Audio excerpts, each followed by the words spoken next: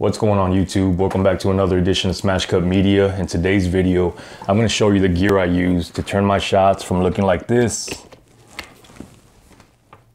to this. Now this setup you're seeing here is three years in the making. When I first started YouTube, I was using my iPhone for about a year to record. I didn't want to really invest any money because I didn't know how far I was gonna go with YouTube. The second year, I decided to invest in my first camera, and that was this DSLR sitting right in back of me there. As you might have guessed it, didn't work out that well. Now it's just on the shelf collecting dust. I really couldn't figure it out. It might have been user error. I really don't know too much about cameras. I tried a few different lenses, different lighting, different shots, different techniques, and it didn't work. And that kind of turned me off to upgrading my gear for a while. So I went back to using my iPhone. So a few years passed, I got a few more channels monetized and decided it was time to upgrade again. Doing my research, I went with the a6400, the Sony a6400, as a lot of YouTubers were using the Sony A series cameras. So I thought, okay, a thousand dollar camera or whatever I paid for it at the time, all I have to do was take it out the box and point and shoot. I couldn't have been more wrong.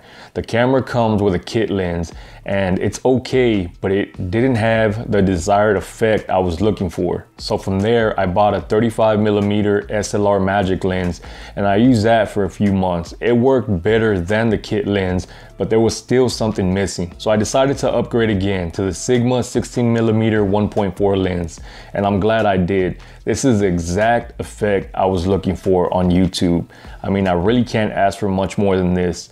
The way you're seeing it here, I have no color grading. There was no crazy uh, editing or anything back end. I just threw it into the, the software, uh, Premiere Pro, and exported it. I didn't do anything to it. I could have color graded a little bit, but I just wanted to show you how it looks raw, just like the way it is when I'm shooting. I can't say enough good things about this lens. While this lens isn't the best lens for vlogging, because it doesn't have in-camera stabilization. If you have a 6500, the A6500, it has in-body stabilization, but the 64 and 63 don't. Now while you can record, you can't vlog with this lens, it's not ideal. I just know it's shaking a lot right now.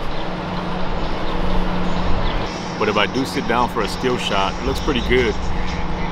As long as the camera's not moving, you're gonna get a real nice shot. So it's not that great if you're gonna be moving around uh, and shooting video, but just doing this right here, if you're in a controlled environment, you can't ask for more. It has autofocus, which is great. Check this out. This goes back and it also has facial recognition. And I know most YouTubers nowadays want a crazy rich depth of field. Check this out. So the lighting's not that great right here. I have the lighting set up that way to shoot where I was just at right now.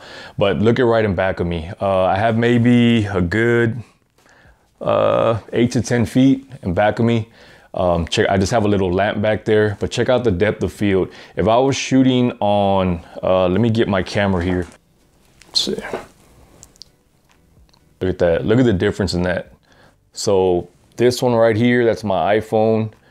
And this camera right here is the Sony 6400. Look at that. That's crazy. See if you can get this right here. Focus on that. Wow, look at that. Look at how it just popped right there. So let's see how this handles in low light. Turn all my lighting off here. Kind of looks cool like that. Nah, it's really, it's really dark. But I have it on, right now I have it on 160 ISO. And if I were to bump up that ISO right here, look at that. I have really no lights on right now. The only light I have on is that lamp back there. Right now I'm at 100, I'm at 1000 ISO.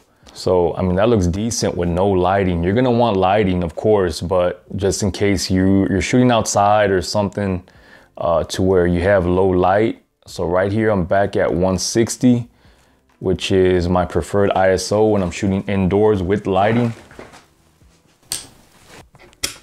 All right, so let's go back that way. So if you want a more in-depth review on the lens, check out my channel, Smash Cut Gear, where I review all types of different YouTube gear from cameras, lenses, microphones, software, and everything in between.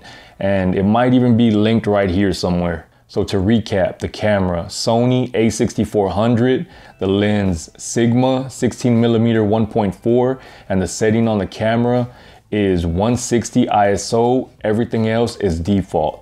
Check out that depth of field. I'm about four inches away from the camera right now. So if you're looking to upgrade your gear or start a new YouTube channel and don't know which way to go, don't know what to get, you can't go wrong with this combination right here because you have an actual example. So I'm gonna leave a link in the description for the camera, for the lens, and if you haven't already, please consider subscribing. I make videos just like this on how to YouTube. I wanna thank all my subscribers for their continued support.